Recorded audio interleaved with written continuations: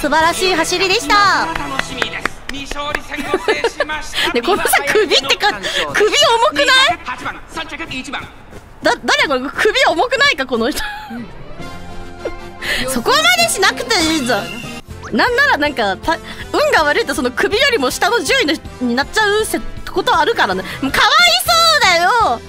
イミディエイトちゃんをかわいそうだよ。イミディエイトちゃんを勝たせたいジュエルペリド名前がか名前がすごいかわいの。あ首になるってことではないの？首首さ？首ぐらいの差しかないってこと？あなるほどね。逆に逆に近いってこと？首にもうこれ遅いから首首だよこの馬はみたいなそういう扱いかと思って一瞬ふってなっちゃった。